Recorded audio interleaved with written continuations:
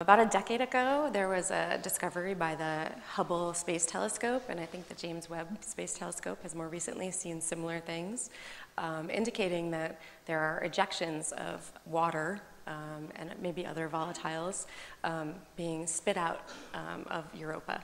Um, one possibility for that is that these are actually active plumes, um, again, of water, either from one of these ponded lakes beneath the surface or maybe from the ocean itself.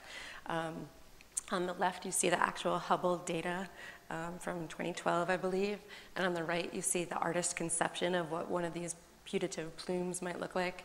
I like to joke that this is kind of like reality and social media.